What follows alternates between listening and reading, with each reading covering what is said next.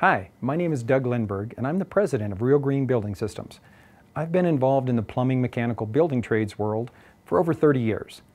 I've been a salesman, a designer of systems, and a consultant. My goal has always been to find and utilize products, systems, and services which would continually make people's homes better, safer, and more efficient. I have a patented part called a four-port fitting and I have a patent pending on the plumbing-based fire protection system that's utilizing this part. My system means that the cold water plumbing installed in every home is now capable of being the fire protection system. By including the fire suppression system as a component of the plumbing system, I've been able to accomplish a number of extremely important things. First and foremost has been life safety. Because this system doesn't need any annual testing to prove that it's always working, when mama takes a shower and water comes out of the shower head, everything is working. And everyone knows everything's working. Second, this is a major water conservation component.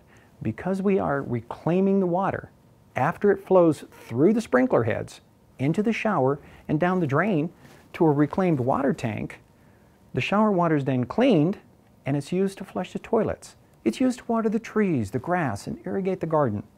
And all of a sudden, we're saving over 50% of our water.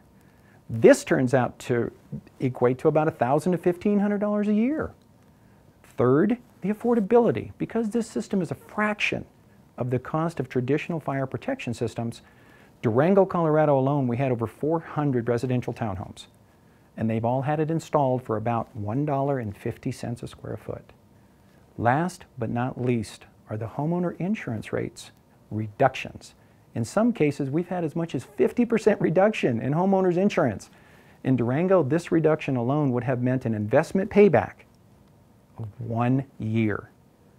In 2012, there were 650,000 housing starts.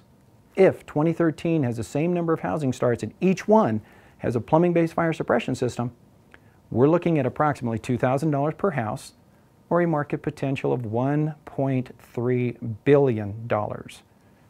In 2009, the International Code Council adopted a mandatory residential fire sprinkler regulation. 31 states have adopted this code already. On the face of it, this seems like a really good idea, just like smoke detectors, except that the traditional fire protection systems had a lot of drawbacks when used in homes or residences, not the least of which was the initial cost. Five to six dollars a square foot or ten to fifteen thousand dollars a house. And then the annual inspection fees of those types of systems are $500 a year and up. In 2012, Colorado adopted the ICC codes, which included mandatory installation of residential fire sprinklers. So there you have it. Real Green Building Systems, me, Doug Lindberg, I supply the consulting needed. I train the installers on the proper way to install these systems. More importantly, I supply the patented plans, design, and the patented four-port fitting system for the plumbing-based fire suppression system. This system gives you life safety, number one. It gives you efficiency of water conservation, number two. And number three, it has become extremely affordable. Thank you for this opportunity to share this with you. And I encourage you to visit my websites, www.rgbsonline.com and www.firesafehomes.net. Thank you again.